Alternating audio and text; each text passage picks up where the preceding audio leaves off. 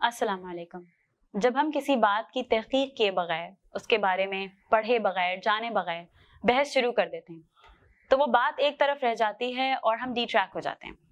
फिर ना हम उसको अपनी बात पहुँचा सकते हैं और ना हम उसकी बात समझ सकते हैं। ऑब्वियसली फिर कोई सोल्यूशन भी नहीं निकल सकता। इसलिए ज़रूरी है कि हम किसी भी बात को अच्छे तरीके से पढ़ें, उसके रीजंस को समझें, ताकि हम उस बात की, को समझ सकें और किसी सोल्यूशन तक पहुँच सकें। मेरा नाम मरियम एजाज है और आज हमने अपने माहरीन को यहाँ बुलाया इसलिए है कि हम बात करने लगे हैं फोर्थ सितंबर हिजाब डे के हवाले से। Hijab is an hijab is an attitude beyond attire हमारे साथ मौजूद हैं कौसर मसूद, प्रेसिडेंट हैं J I youth women Pakistan की। अदबी तहारीर और बच्चों की कुतुब भी लिखती रही हैं। मारूख साहिबा क्लिनिकल साइकोलॉजिस्ट हैं C B T certified Philadelphia U S A she is a director of Karachi psychiatric hospital and a director at neuro care और हमारे साथ मौजूद हैं doctor Mahjabeen Akhtar graduate of Texas A and M university U S A she is a director of Karachi psychiatric hospital मेरा सवाल पहले कौसर मसूद साहिबा से है what does hijab mean to you आज के दौर में तो हिजाब एक पीस ऑफ़ क्लॉथ समझ लिया गया है, जिसे हम अपने सर पे डालें या जिसम पे डालें तो ये हिजाब है। लेकिन अगर आपके भी मायने देखते हैं तो हिजाब के मायने हमें मिलते हैं रुकावट के। हिजाब को आज के दौर में समझ लिया गया है कि ये एक पीस ऑफ़ क्लॉथ है, जो हमें अपने सर पे या अपने जिसम पे डाल लेना है। तो अल्लाह ताला ने अपनी बनाई हुई इस दुनिया में जो जेंडर्स भेजी हैं उनके दरमियान अल्लाह ताला ने एक रुकावट एक हिजाब को पसंद फरमाया है। जिस तरह आ, मैं इसको इस तरह से समझती हूँ कि अल्लाह ने कुरान में सुर रहमान में आयत 19 में फरमाया कि अल्लाह ताला ने दो समंदरों को छोड़ दिया एक मीठे पानी का है एक खारे पानी का है। लेकिन उसके बावजूद उनके दरमियान एक रुकावट है कि ये बाहम मिल ना जाए। तो मैं, ये मुझे बड़ी अच्छी मिसाल लगी एक मुस्लिम सोसाइटी की कि अल्लाह ने इसमें दोनों जेंडर्स को रखा है। ये दोनों साथ साथ भी रहेंगे, एक दूसरे को ताउन भी फरहम करेंगे, लेकिन इनकी मिंगलिंग इस तरह नहीं होगी कि इनके आपस में मिलने से इनको नुकसान हो या माशरे को सोसाइटी को नुकसान पहुँचे। यानी अगर आप खारा पानी और मीठा पानी मिला दें तो दोनों की क्वालिटीज़ मुतासर हो जाएँगी ना। इस तरह से अगर ये दोनों जेंडर्स सोसाइटी में इस तरह से आपस में मिंगलिंग करेंगे कि कोई इम्तियाज़ बाकी ना रहे, कोई लिमिटेशन बाकी ना रहे तो फिर माशरे में भी ख़राबी होने का अंदेशा है। इसलिए अल्लाह ताला ने एक पूरे सिस्टम को हमारे लिए डेवलप किया डिज़ाइन किया कि हम इस सिस्टम के तहत चलें और एक हिजाब दोनों जेंडर्स के दरमियान मौजूद रहे। साहिबा आप जो हैं एक क्लिनिकल साइकोलॉजिस्ट हैं तो आपका इस बारे में क्या ख्याल है कि हिजाब पहनने से इंसान की नफ्सियात पे क्या असर पड़ता है? अच्छा पहले तो मैं इनकी बात को सेकंड करूँगी। मुझे अभी एकदम से याद आया ओपरा विनफ्री शो उसको कौन नहीं जानता सब जानते हैं उसको। मैं उनका एक शो देख रही थी। तो उनके शो में हरासमेंट के टॉपिक था, उस पर बात हो रही थी। और वो बात करते करते कि ऐसे होना चाहिए, मर्दों को अपने आप को ऐसे कंट्रोल करना चाहिए, औरतों को ऐसे कंट्रोल करना चाहिए। तो at the end of the show वो वो इस कंक्लूजन में पहुँचे कि अच्छा बस फिर ठीक है। मर्द और औरत जो है वो साथ हो ही नहीं सकते। उनको अलग होना चाहिए। और उनका ये कंक्लूजन ऐसा था जैसे ये तो पॉसिबल ही नहीं है। बस it was like no end मतलब कोई सोल्यूशन ही नहीं निकला। तो इस तरह ये वाला भी मैं सोच रही थी कि yes she is right I agree with her जब अब हया ना, हिजाब और हया, इसका कॉन्सेप्ट मिलता जुलता है। Hijab gives you the feeling of protection from inside and from outside आपकी सेल्फ स्टीम को हाई करता है, ठीक है? आपको एक सेफ्टी और एक सिक्योरिटी की फीलिंग देता है कि I am safe from inside and from outside दोनों तरफ़ से आपको ये फीलिंग देता है। और दूसरी चीज़ मैं जो एक क्लियर करना चाहती हूँ, जो कि मैं इसको लाइक ना I will be very open since I am a psychologist so I have to be like open ठीक है? एक ये नई डिबेट चली है ना कि मर्द और औरत एक दूसरे में अट्रैक्शन नहीं होती, ये वाली चीज़। Let me make one thing very clear let's not fight with biology physiology मर्दों की फिजियोलॉजी बायोलॉजी ब्रेन अलग है, ठीक है? औरतों की अलग है। देर इज़ नो वे कि मर्दों को, हम इसको डिनाई करें कि मर्दों को औरतों से अट्रैक्शन नहीं आती। उनको आती है, ठीक है? और बहुत आती है। और जितनी औरतें एक्सपोज होती हैं, उतनी उनको अट्रैक्शन आती है। हाँ ये दूसरी बात है कि कौन सा मर्द अपने आप को कितना कंट्रोल कर सकता है। ठीक है दिस इज़ अनदर थिंग कि कितना कंट्रोल कर सकता है। लेकिन इसको हम डिनाई नहीं कर सकते.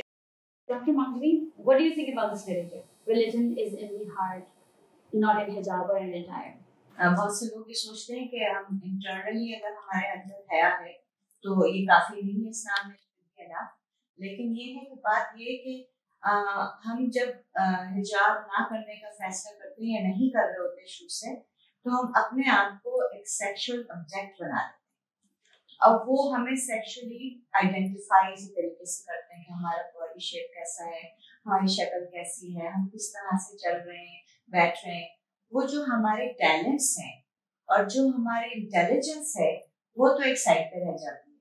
और आप जो है, आप, कि आप एक सिंबल बन जाते हैं सेक्स का ठीक है? तो इसका मतलब है कि हम क्या मतलब है? इसका यही है ना कि हमने अपने आप को बहुत नीचे कर दिया है और हमें किसी भी चीज़ की तरह, जैसे क्लास रखा है या मेज रखी है, हमने उसकी तरह अपने आप को नीचे ले आए स्टेटस पे ले आए तो मैं सोचती हूँ या महसूस भी ये करती हूँ कि व्हेन आई कवर्ड तो मुझे लोग मेरी इंटेलिजेंस मेरी टैलेंट और मेरा प्रोफेशनलिज्म जो मौजूद है, उसके बेसिस पे देखते हैं। They don't see me as a man as a woman they see me as a professional person तो ये बहुत ज़रूरी है कि आप अपने आप को सेक्स ऑब्जेक्ट दूसरे मर्दों के लिए ना बनाएँ बल्कि अपने आप को अपने टैलेंट से और अपने इंटेलिजेंस से दूसरों को मनवाएँ। सही लेकिन अब अभी जब सारे मिसहैप्स हो रहे हैं इतनी सारी हमारे पास केसेस आते हैं तो ये तो हिजाब वाली लड़कियों के साथ भी हो रहे हैं और बेहिजाब वाली लड़कियों के साथ भी हो रहे हैं तो फिर इसके बारे में आप क्या बोलेंगे और फिर कौन किसको आप जिम्मेदार ठहराएँगे असल में इस सोसाइटी में जहाँ पर किसी कस्म के इस्लामिक रूल्स और रेगुलेशन ना हो तो ये प्रॉब्लम्स तो शुरू होते हैं। इसमें कोई हम्म, वो नहीं है सेकंड ओपिनियन अब प्रॉब्लम ये है कि आजकल लड़कियों को लड़कियाँ महफूज महसूस कर रही हैं। उनके पास ऐसे भी खबरें आई हैं जिसमें अटैक हो गया है लड़कियों पे। ये भी प्रॉब्लम है। लेकिन ये प्रॉब्लम ऐसा नहीं है कि सिर्फ़ हिजाब ही करने से हल हो सकता है। पूरा एक सिस्टम है। इस्लाम जो है सिर्फ़ ये नहीं है कि विजुअली आप प्रैक्टिस करें। ये पूरा एक सिस्टम होता है जो कि शुरू होता है गवर्नमेंट से। गवर्नमेंट को जो है ऐसे रूल्स और रेगुलेशंस बनानी चाहिए जिससे औरतें महफूज रह सकें। तो इसमें बहुत सारी चीज़ें हैं। अब इसमें एक चीज़ तो मैं ये कहती हूँ कि हम लोग एज एन इंडिविजुअल हम ये कहते हैं कि हमारा तो है अंदर से और हम ऊपर हमें पर्दा करने की ज़रूरत नहीं। ओके अंडरस्टूड लेकिन जब आप रोड पे ट्रैफ़िक में आप गाड़ी चला रहे हैं तो आप रेड लाइट पे रोकने को तैयार हो जाते लेकिन आप अपने आप को कवर करने के लिए तैयार नहीं होते। आपको पता है, जब आप रेड लाइट क्रॉस करेंगे तो एक्सीडेंट होगा। इसी तरह जब आप हिजाब के बगैर बाहर निकलेंगे तो there can be an accident and it's more likely क्योंकि इस्लाम का निज़ाम है नहीं, कोई प्रोटेक्शन का निज़ाम है नहीं तो you will cause an accident and it is a possibility ज़रूरी नहीं है कि आपका कसूर हो, लेकिन सोसाइटी इस तरह बिल्डअप हो रही है। आजकल मीडिया के तरीके से मीडिया कैसे पोर्ट्रे कर रहा है। हमारे अपने सोसाइटी में बहुत ज़्यादा खराबियाँ पैदा हो रही हैं। तो so many reasons for it लेकिन ये कि जब हम एक लॉ पे अमल करते हैं तो उसका फ़ायदा हमें ही होता है। और जो ये इस बारे में इतनी आजकल डिबेट हो रही है विक्टिम ब्लेमिंग के ऊपर तो हाँ साहब आपका क्या ख्याल है इसके ऊपर? औरतों के ऊपर अपनी रिस्पॉन्सिबिलिटी है ठीक है? मर्दों के ऊपर अपनी responsibility if I see myself as a women I have responsibility to cover myself to protect myself ठीक है? To carry myself with hair ये मेरी रिस्पॉन्सिबिलिटी है. और मर्दों के ऊपर, अब चाहे वहाँ पे मर्द हैं, मर्द नहीं हैं. When I am living my home I have to see कि मैं किस तरीके से घर से निकल रही हूँ. ठीक है? अब मर्द जो है इंडिपेंडेंट ऑफ़ वुमेन उनकी क्या ज़िम्मेदारी है? कि जहाँ वो औरतों को देखेंगे, उनको अपनी नज़रें नीचे करनी होंगी, ठीक है? और अपनी एक नज़र डाल के दूसरी नज़र नहीं डालनी होगी। अब चाहे उस औरत, उन औरतों ने कैसे ही कपड़े पहने हुए ठीक है? वो उनकी रिस्पॉन्सिबिलिटी है। औरतों की अपनी रिस्पॉन्सिबिलिटी ठीक है ना? अपनी अपनी भी तो रिस्पॉन्सिबिलिटीज़ है ना। हम एक दूसरे के ऊपर तो नहीं डंप कर सकते। और मैं दो हदीसें जो मैंने कभी पहले बचपन से पढ़ती चली आ रही हूँ वो यहाँ मुझे एकदम से क्लिक कर जा कर गई थी। हसद असमा जब रसूल अल्लाह सल्लल्लाहु अलैहि वसल्लम के पास गई तो उनकी I think sleeves see through थी हल्की सी। तो रसूल अल्लाह सल्लल्लाहु अलैहि वसल्लम ने उनसे कहा कि असमा इसके अलावा और इसके अलावा जिसम का कोई हिस्सा नज़र नहीं आना चाहिए। तो उन्होंने उनको उनकी पर्सनल रिस्पॉन्सिबिलिटी बता दी ठीक है? और एक और किस्सा है कि रसूल वसल्लम सवारी पे बैठे हुए थे और उनके पीछे सहाबा बैठे हुए थे। मैं उनके नाम के, के लिए लेके श्योर नहीं हूँ। तो वो उन्होंने एक औरत भी थी तो उन्होंने उनकी तरफ़ न, उनको देख रहे थे। तो रसूल अल्लाह ने उनके चेहरे को लेकर इस तरफ़ कर दिया, ठीक है? तो इसमें उन्होंने उनकी पर्सनल रिस्पॉन्सिबिलिटी उनको बता दी। तो उसमें आई गॉट दिस फीलिंग कि उन्होंने उस औरत से नहीं कहा कि तुमने क्यों चेहरा खोला हुआ है या तुमने क्यों पर्दा नहीं किया हुआ है या तो इसमें दोनों की अपनी अपनी पर्सनल रिस्पॉन्सिबिलिटीज़ हैं कि किसने अपने आप को कैसे कैरी करना है अपनी अपनी रिस्पॉन्सिबिलिटीज़ तो आई से कि अपनी रिस्पॉन्सिबिलिटी खुद लेनी है। अच्छा हमने किया कि हमने लड़कियों से भी सवाल लिए कि वो किसी से गुजरती हैं, उनको क्या प्रॉब्लम्स होते हैं और वो क्या पूछना चाहती हैं। तो सर्वे करने पे हमारे पास बहुत सारे सवाल है एक सवाल था जिसको सिंपल सा है इज़ हिजाब चॉइस और रिस्ट्रिक्शन मेरे हिसाब से कि बहुत सिंपल सा क्वेश्चन है कि हिजाब एक अल्लाह ताला की तरफ़ से दिया हुआ हुक्म है इट्स पर इट्स ऑब्लिगेशन जो भी हम कहना चाहें and there is no denying that doctor Mahjabeen, आप बताइए कि हिजाब, एक लड़की ने पूछा, मैं हिजाब स्टार्ट करना चाहती हूँ। लेकिन घर में फ्रेंड्स या कोई भी सपोर्ट नहीं करता, मुझे कोई एक ऐसा सिस्टम नहीं मिलता। तो चूँकि आपके पास तो ऐसे आती होंगी लड़कियाँ आपके पास आपको तो बहुत एक्सपोज में हम ये समझने में गलती करते हैं कि एक लाइफ स्टाइल है। ठीक है और के भी वेस्ट में भी एक लाइफ स्टाइल है ठीक है हमारा भी ऐसे मुस्लिम एक लाइफ स्टाइल है इट्स नॉट जस्ट कि हमने पर्दा कर लिया अपने जिसम को ढक लिया और हम घर में बैठ के बंद हो गए। हमारे हम मुसलमानों के अंदर भी हिजाब का कॉन्सेप्ट बहुत गलत उनको ये लगता है कि इस्लाम आएगा या हिजाब आएगा इस्लामिक गवर्नमेंट आएगी तो लोगों को खातन को बुरके में बंद कर दिया जाएगा ठीक है? और तो घरों में बंद कर दिया जाएगा पढ़ने हाँ। तो पढ़ने नहीं दिया जाएगा। तो हम मुसलमानों में भी बड़े खराब कॉन्सेप्ट हैं। तो उसका कॉन्सेप्ट भी हमें क्लियर करने की ज़रूरत है। आई अंडरस्टैंड कि जो हिजाब शुरू करना चाहते हैं या कर रहे हैं उनके लिए प्रॉब्लम है। क्योंकि फैमिली में एक्सेप्टेंस बाज नहीं होती। इसी तरह when you going to university और कॉलेज स्कूल स्पेशली जब आपका को एजुकेशन हो तो उसमें भी प्रॉब्लम क्रिएट हो सकती है, ये तो टोटली अंडरस्टैंडेबल लेकिन जब आप हिजाब शुरू करें तो मेरा मशवरा ये है कि इसकी वजह ज़रूर मालूम कि क्यों मैं कर रही हूँ हिजाब। वट इज़ द रीजन अल्लाह ताला के अहकाम क्या हैं और क्यों है? कि हमें ज़रूर अपनी इंटेलिजेंस को इधर इस्तेमाल करना चाहिए। और फिर उसको समझ के जब आप करेंगी तो आप दूसरों को के लिए भी अंडरस्टैंडिंग और बिल्ड कर सकती हैं। और खुद भी आप कॉन्फिडेंट होके हिजाब कर सकती हैं। मेरे ख्याल में तो यही करना चाहिए। I know it's very hard for some girls लेकिन ये है कि अगर आप इस कमिटमेंट के साथ I know why is it you know why do we have to do it and I know कि अल्लाह के हुक्म है। तो I I can make other people understand as well would be hard, but it's doable. और फिर ये भी तो होता है ना कि उन लोगों को नहीं समझा जाता है बैकवर्ड समझा जाता है। तो क्या ये चीज़ सिर्फ़ हमारे यहाँ है या किसी वजह से इसको इंस्टॉल किया जा रहा है। असल में हमारे बैकवर्ड इसलिए है कि हम लोग इस पे 200 साल तो ब्रिटिश ने हुकूमत की है। सो उनके यहाँ तो पर्दे का उस वक्त हिजाब का नहीं था तो उन्होंने हर चीज़ जो इस्लामिक थी ओरिएंटेड थी, उसको तर्ज का निशाना बनाया, उसको डिग्रेड किया। तो उसका उसका नुकसान ये हुआ कि हम अपने ही इस्लाम के अपने ही जो हमारे स्टैंडर्ड थे वही हमें बुरे लगने लग गए। ठीक है? तो ये एक तरह की मेंटल स्लेवरी कहलाती है। फुल एजेंडा एग्जैक्टली अब आप जब अपनी ही चीज़ को बुरा समझने लगे आप अपने आप को बल्कि आप ये देखें कि हमारे यहाँ माशरे में गोरे रंग को बेहतर समझा जाता है। और जो हमारे सांवला रंग होता है या ब्राउन डार्क कलर होता है उसको बुरा समझा जाता है। तो ये भी मेंटल स्लेवरी है। इसी तरह मैं हिजाब को लेती हूँ। हिजाब जो हमारे यहाँ इतनी ज़्यादा उसकी वो एंटी भी हो गए बहुत से लोग and they don't feel comfortable उनको लगता है बैकवर्ड है। वो भी हमारी मेंटल स्लेवरी का नतीजा है। जो वेस्ट कर रहे हैं, वो ज़्यादा अच्छा है। जो हमें अल्लाह ने काम दिए, हम मुसलमान हैं, वो हमारे लिए अच्छा नहीं है it's not good for us और we don't feel confident in it and we don't feel good in it और ये हमारे लिए एक, वो है, ज़बरदस्ती का हो गया है। सारे कॉन्सेप्ट भी आते हैं, जब अपने आप को इंफीरियर समझना शुरू करते हैं। और आपको अपने इस्लाम भी बुरा लगने लगता है। तो this is very common here उसके लिए हमें अपना कॉन्फिडेंट एजुकेशन इस्लामिक एजुकेशन अपनी रखनी पड़ेगी। आजकल तो बच्चे बच्चे जा रहे हैं नेट पर, हर किस्म की एजुकेशन हासिल कर रहे हैं।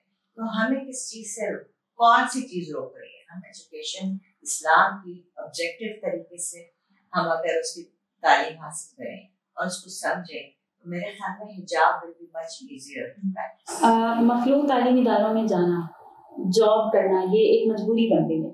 तो वहाँ जाने के ऐसी इन्वायरमेंट में होने में क्या एटिकेट्स होंगे, क्या आदाब होंगे? ये सोचें, सारी चीज़ों के बैक में जाएँ कि कोई पर्सन है जो आपके लिए बहुत लविंग और बहुत केयरिंग है और वो आपको हर तरफ़ से पैम्पर करके आपको बहुत अच्छी तरह देखना चाहता है। तो उस लविंग एंड केयरिंग की खुशी के लिए भी हम बाज़ात कुछ करते हैं ना? तो हमारा जो हिजाब है उस लविंग और केयरिंग हस्ती को खुश करने के लिए हमें एज इट इज़ उसको कबूल करना है कि मेरा रब मुझे सत्तर माओं से ज़्यादा चाहता है।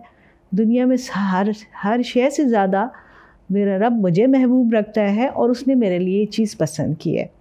तो इस एक्सेप्टेंस के साथ जब हम इस अटायर को अपनाते हैं और फिर हम बाहर सोसाइटी में निकलते हैं, हम यूनिवर्सिटीज़ में जाते हैं, हम दीगर इदारों में जाते हैं और हमें वहाँ मुखालिफ रवैये का सामना करना पड़ता है।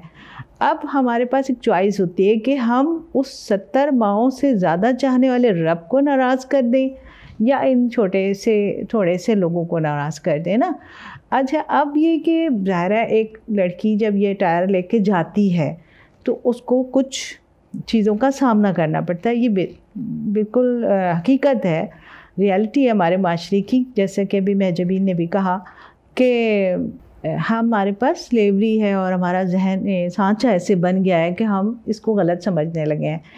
तो एक तो ये कि जो इसके फ़ायदे हैं, वो तो ज़मनी फ़ायदे हैं कि वो प्रोटेक्शन है तो ये वो सेफ़ है या जो भी है। सारा सब फोकस जहन में इस पर रखना है कि मैं अल्लाह के लिए पहन रही हूँ। ठीक है? बाकी वो चीज़ें जो मुझे फ़ायदे हैं, वो एक अलग बात है।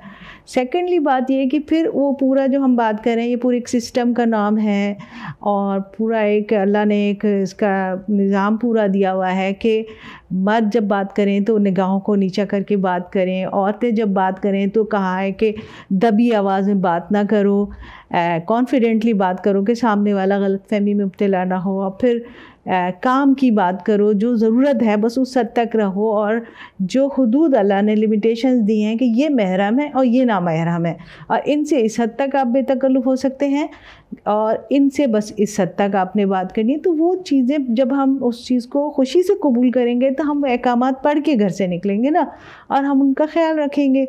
अब वो चाहे चैटिंग है या ईमेल्स हैं या गुफ्तु है, ये कोई भी तरीका हो सकता है ना तो उसमें सारे उन चीज़ों को एटिकेट्स जो अल्लाह ने बताए, उनका ख्याल रखेंगे। तो मेरा नहीं ख्याल कि को हम एक रूल बना के दें, बल्कि जब दिल से एक चीज़ को मान लेंगे तो उसकी सारी ज़रूरियात को हम फिर ख़ुद ही मालूम करके उसको इख्तियार करेंगे। अच्छा अब मुझे एक चीज़ बड़ी अच्छी लगती है कि अब अल्हम्दुलिल्लाह हमारे माशरे में पूरी दुनिया में इस्लाम से, हया से, हिजाब से रिलेटेड काफ़ी अवेयरनेस बढ़ती जा रही है। तब भी लोग जानना शुरू हुए हैं और करना चाहते हैं अमल, लेकिन हमारे पास सवाल बहुत ज़्यादा ही आ रहा था लड़कियों का, हर किस्म, हर एज ग्रुप से, हर बैकग्राउंड से, कि हम करना चाहती हैं, लेकिन हमें बहुत ज़्यादा प्रॉब्लम हो रही है, मुश्किल हो रही है तो उस हवाले से क्या टिप्स देना चाहेंगे आप? आई हैव बिन देयर एक टाइम पे मैं भी करना चाहती थी और बहुत मुश्किल थी। रिश्ता कैसे होगा, शादी कैसे होगी ना all those thing school colleges में बहुत इश्यूज़ आ रहे हैं। तो उनके लिए मुझे एक एडवाइस है कि अगर उन्हें मुश्किल हो रही है और एक एक हद तक उन्होंने कर कर रही हैं, ठीक है ना तो उसको वो स्लोली बढ़ाएँ, ठीक है ना। अगर किसी, अगर तो कोई किसी के लिए ये आसान है कि वो एकदम से कर ले तो ठीक है। लेकिन अगर किसी के लिए मुश्किल है तो वो अगर उसने दुपट्टा लेना शुरू कर दिया है तो वो आहिस्ता पे अपने हेड पे ले। अगर सिर्फ़ हेड पे ले रही है तो उसको और ज़्यादा कवर करना शुरू कर दे। बज़ दफ़ा मैंने ऐसे में अपने पर्सनल एक्सपीरियंसेस आपको बताती हूँ। मेरी कुछ फ्रेंड्स ऐसी हैं कि जो स्कर्ट्स लेती थी, फिर उनके लॉन्ग स्कर्ट्स हुए, फिर और लॉन्ग हुए, फिर स्कार्फ्स आए, फिर ढीले कपड़े आए। तो जस्ट करती रहें। आहिस्ता आहिस्ता आहिस्ता। फिर होता ये है कि जब आप स्लोली करती रहती हैं तो आसपास के लोग जो है ना वो भी उनको भी आदत सी पड़ ग्रेजुअली ना वो भी आदि होना शुरू हो जाते हैं। तो उनके लिए मेरा ये है कि don't stop continue gradually also don't get into the debate के क्या हाँ, and कितना करना and yes, है and you're so right उस डिबेट में पढ़े ही नहीं कि नहीं मैं ये कर रही हूँ गलत कर रही हूँ सही कर रही हूँ। और अपने दूसरी चीज़ों पे वर्क करें अपने अखलाक पे वर्क करें इन चीज़ों पे वर्क करें तो फिर लोग जो हैं उसको आहिस्ता आहिस्ता हर जगह घर में यूनिवर्सिटीज़ में जॉब में एक्सेप्ट कर लेते हैं इवेंचुअली और फिर हाँ, अल्लाह की मदद और फिर अल्लाह की मदद आती है. तो और ये जिहाद है जिहाद में कुछ स्ट्रगल होता है बिल्कुल और हो जाता है इंशाल्लाह। इस सारी कॉन्वर्जेशन को डॉक्टर माजबीन आप किस तरह समराइज करेंगी? क्या सोल्यूशंस uh, आपको क्या लगते हैं कि क्या सोल्यूशंस हैं? और किस तरह हम माशरे में चेंज ला सकते हैं? अच्छा जो सब इन्होंने कहा बड़े अच्छे पॉइंट्स कहे और मैं एग्री भी करती हूँ। हमें ये अंडरस्टैंड करना चाहिए कि फ़र्स्ट कि हम मुसलमान हैं कि नहीं। We have to know that Shauri तौर अगर हम मुसलमान हैं तो वी हैव टू नो कि हमारे एज ए मुस्लिम हमारे क्या ऑब्लिगेशंस हैं। क्या राइट्स ठीक है तो as a smart and intelligent human being who is also a Muslim should know कि उनकी क्या रिक्वायरमेंट्स है मुसलमान होने की. और सिर्फ़ ये एक बच्ची के, लड़की के हिजाब लेने की बात तो है, लेकिन ये पूरी सोसाइटी की बिल्डअप होती है। इस सोसाइटी में घर वाले भी होते हैं, वो भी नॉलेजफुल हो। सोसाइटी में आपकी गवर्नमेंट होती है, जो फिर रूल्स और रेगुलेशंस पास करती है। वो इस्लामिकली ओरिएंटेड है कि नहीं है। फिर आपका मीडिया होता है, जिसपे उसको भी इस्लामिक ओरिएंटेड होना चाहिए और उस पर भी कुछ ना कुछ जो है रूल्स और रेगुलेशन अप्लाई होनी चाहिए। तो ये हिजाब, जैसे कही थी प्रोसेस है ना, कि पूरा एक सिस्टम है ये सिर्फ़ किसी औरत के ऊपर एक पाबंदी नहीं है ये पूरे माशरे में सिस्टम राइज किया जाता है और उसमें फिर खातन को बहुत आसानियाँ होती फिर खातन जो है सारे दीन और दुनिया के काम कर सकती हैं, वो अपनी जॉब्स भी कर सकती हैं, पढ़ाइयाँ भी कर सकती हैं, वो सारे अपने वो एक्टिविटीज़ कर सकती हैं स्पोर्ट्स में जा सकती हैं whatever they want to do they can do it if there's an Islamic system that protects them and encourages them to do a lot of things. तो हमारी, मैं ये ऐसी समझ करूँगी कि बेसिकली हमारी समझ को हमें अपना बढ़ाना होगा, हमें ज़्यादा इंफॉर्मेशन और नॉलेज चाहिए होगी ताकि हमें पता चले कि हमें किस पे, किसे फॉलो करना है, वहाँ से रूल्स रेगुलेशन फॉलो कर हैं। और एंड में मैं ये कहूँगी कि if you are you have to decide if you are Muslim or not ठीक है? The basic requirement is that if you are a Muslim then you would like to follow Islamic rules and if you are not a Muslim then there is no question to it that's fine you know do whatever you want तो यही system है जो हमें आगे लेके चल सकता है। में बहुत ज़्यादा अच्छा चल सकता है और खातन इसमें कॉन्फिडेंस होता है उनको और वो और ज़्यादा चीज़ें करने के लिए उनको ज़्यादा जिसे कहते हैं ना अपॉर्चुनिटीज़ भी मिलेंगी ठीक है और उनको इंकरेजमेंट भी मिलेगी। तो इनशाला we hoping for that system इनशाला पाकिस्तान में इस्लामी निज़ाम आया and we start you know going for that system इनशाला वी अच्छा जैसे ये सारी सोल्यूशंस आपने दिए, ये एक एक्सटर्नल सोल्यूशंस हैं। मैं ये भी पूछना चाहूँगी कि जो मेरे इंटरनल कॉन्फ्लिक्ट्स हैं, मैं अपने अंदर कैसे मजबूती लाऊं? मैं किस तरह अपने आप को मज़बूत करूँ? क्योंकि बाज़ दफ़ा मुझे सब समझ आ गया है आई एग्री आई एक्सेप्ट ऐसा होना चाहिए। मैंने मान लिया कि ये इतने मोहब्बत करने वाले रब ने मुझे कहा है। लेकिन मैं अंदर से अपने आप को इस चीज़ पर राज़ी नहीं कर पा रही कि मैं कनेक्ट करूँ और मैं थोड़े अमल में चेंजेस लाऊँ। तो मैं किस तरह अंदर से मजबूती लाऊँ अपने ये अच्छा सवाल है मरियम। जैसे कि मारूफ ने कहा कि स्टेप बाय स्टेप आगे बढ़े ना, और आपने बताया कि बेस को मज़बूत किए बगैर बिल्डिंग बनी नहीं सकती तो बेस तो अल्लाह की मोहब्बत है, अल्लाह से ताल्लुक़ है। जितना वो ताल्लुक़ मौजूद होगा एक्सेप्टनेस बढ़ेगी, ठीक है? और फिर ये स्टेप बाय स्टेप वाली बात है। और फिर ये कि जब सोसाइटी आपके मुखालिफ होती है, उस वक्त आपने एक बात जैसे कि हम कहते हैं कि हम प्रमोट करते हैं ह्यूमन राइट्स को। तो hijab is also a women right always protect your right आप अपने इस हिजाब के राइट को प्रोटेक्ट करें, माशरे से बनवाएँ, लोगों से फैमिली से कोलीग से। सबसे आप इस, उस पर बात करें this is my right this is my choice और अपने अंदर को इस तरह मज़बूत करें। अल्लाह की मोहब्बत को महसूस करें, अल्लाह की मोहब्बत को अपने अंदर जज्ब करें, अल्लाह से अपने ताल्लुक़ को बिल्कुल दोस्ताना बनाएँ और अल्लाह पे एतमाद करें कि अल्लाह ने अगर मेरे लिए कोई चीज़ चॉइस की है तो वो मेरे लिए बेहतरीन है। तो ये दो चीज़ें हैं, एक अंदर के लिए और एक बाहर के लिए, जो मेरे जहन में आती हैं। बहुत शुक्रिया आप लोगों का, मुझे बहुत अच्छी लगी ये discussion very fruitful very productive very helpful और सबसे मज़े की बात ये थी कि आपने बिल्कुल आराम से उसको सेपरेट कर दिया कि हमने ऐसे कुछ ब्लेम गेम वाली कोई चीज़ नहीं हुई, इसको हमने क्लैरिफाई किया कि पर्सनल रिस्पॉन्सिबिलिटी है। और आपने टिप्स बताई, आपने उसकी रीजनिंग बताई हिजाब का कॉन्सेप्ट है क्या? और उसको हम जो समझते हैं, सिर्फ़ एक परसेप्शन आता है, एक बड़ा डेंजरस सा कॉन्सेप्ट है, सिर्फ़ वो चीज़ नहीं है। और इखलाक को मैंशन किया गया कि हम समझते हैं कि ऊपर से तो हमने एक कपड़ा डाल लिया है और फिर हमारे अखलाक की पूछ नहीं होगी। और मर्दों की अलग बात की गई कि मर्दों के लिए क्या रिक्वायरमेंट्स हैं और क्या नहीं है। और फिर टिप्स दिए गए। तो मुझे ये चीज़ बहुत बड़ा मज़े का डिस्कशन लगा और चूँकि मेरे पास भी लड़कियाँ आती हैं और वो डिस्कशन में यही चीज़ आती है सामने कि ये सवाल तो बहुत आता है कि हम भी मॉडस्ट लड़कियाँ हैं और बस हम, कोई जो है बिल्कुल पूरा की भी होती है, हिजाब और अबाया लेकिन नकाब नहीं करना तो उसके सवाल ये होता है कि नकाब है कि नहीं है? दूसरी लड़की होती है जो बोलती है कि मेरे हिसाब से मैंने सर पे बस एक दुबट्टा ले लिया है तो I think that's enough because I am modest girl तो मुझे इसका हमेशा जो एक सोल्यूशन लगता है, वो एक ये चीज़ लगती है, जो लड़कियों को समझ भी आती है कि जब हम किसी घर को बनाते हैं तो हम सबसे पहली चीज़ ये करते हैं कि हम उसकी बुनियाद को मज़बूत करते हैं। इससे पहले कि घर सामने आए हमारी बेसिस स्ट्रांग होनी चाहिए। हम उस पर बहुत लंबे अरसे काम करते हैं और हम उसको जब स्ट्रांग बना लेते हैं तो ही कोई चीज़ हम एक्सपेक्ट करते हैं कि वो थोड़ी लंबा अरसे चलेगी और उस वो हर किस्म की प्रॉब्लम्स को फेस कर सकती है। अगर ऐस, ऐसा घर बना दिया जाए जिसमें दीवारें हों और अंदर फर्नीचर हो बहुत खूबसूरत सा उसको सजाया जाए लेकिन बाहर की कोई चार दीवारी ना हो कोई खिड़कियाँ दरवाजे और ऊपर छत ना हो तो वो मुकम्मल घर नहीं होगा। और इसी तरह एक ऐसा घर जो बाहर से आपको दिखने में बड़ा खूबसूरत लग रहा है, लेकिन उसके अंदर कोई भी सजावट ना हो तो वो भी अंदर से खाली घर होगा। तो हिजाब एक ऐसा कॉन्सेप्ट है, जो बाहर से भी उतना ही ज़रूरी है जितना अंदर से है।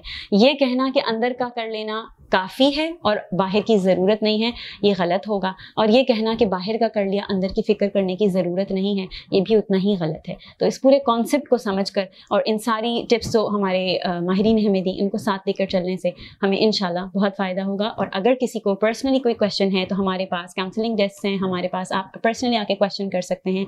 We are here for you if you feel alone if you feel like it's very hard it's definitely hard and this is why we have a community हम इसलिए मिलकर एक दूसरे की मदद करने की कोशिश कर रहे हैं।